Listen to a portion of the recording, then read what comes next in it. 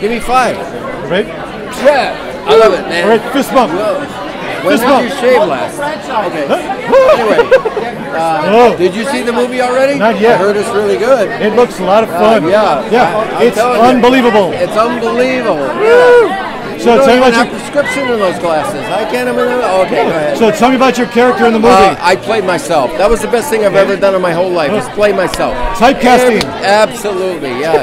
and I could be as ornery as I wanted to be. Oh, wow. Yeah, this is it. so you, you played two different characters in the original Star Trek. The original Star Trek, right? Yeah. Uh, I didn't know why they picked me. I thought, why didn't they get an old guy for Captain Pike? But they did do that. Makeup. And so uh, that started me, and then I went to Lieutenant DePaul the second season, Yeah. and then they had to put a damn Russian in there. But Gene was very smart. He said, "You are a good actor," and I said, "Wow, thank you." And he said, "I'm going to write a letter to all the casting people, and you're going to get work." And I said, two weeks later, I'm on Get Smart. Oh. Boom, boom, boom, boom, boom. Nice. So I worked for 18, 19 years.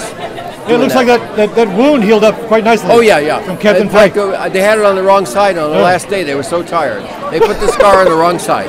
And I went, wait a minute, guys, what's wrong with this picture? And I said, you put it on the wrong. Oh God, Kenney. Oh, we would have been ten thousand dollars a minute. Screwed. We would have been fired. Wow. No, What a mix-up. True story. Oh, hey, so tell me, were you doing the beeps yourself? Yes, I did. You and were? I moved the cart myself. Oh, I had a joystick and a breaker. Wow. Yep. We're getting all the true stories True here stories. on the Nerd told you that, Soapbox. Right? Oh. Tape my eyes down, eat through a straw. Oh, wow. Lost 20 pounds. Really? Yep. Wow. How long did that take? Uh, a week or so? Eight days.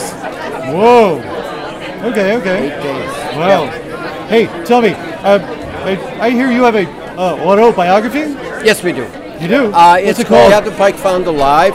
Buy it. It's getting five out of five at at um, uh, what is it? Um, what's that company that I hate to say their name? No, but they're very good. Um, the company that uh, sponsors it. What is the name of it? Come on, guys.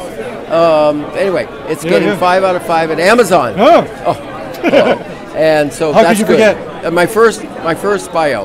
So Nice. anyway, yeah, it's Okay. a memoir. oh. It's a memoir. Yes, of So- you in the films, in the film industry. Yes, and it's all about little little pity patters. About I worked overseas. I worked in Mexico. I worked I worked a lot of places. Oh.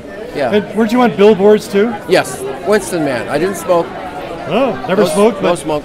okay, okay. Anyway, so I gotta go. Well, they got thanks for, thanks for talking to us. Good talking All right. you. you. Flick. You got a good Flick voice. the Nerd Soapbox. Hey, give me five, man. All right. Wow, Captain Pike. Yep, and DePaul from the original series. Let's see who else we could find.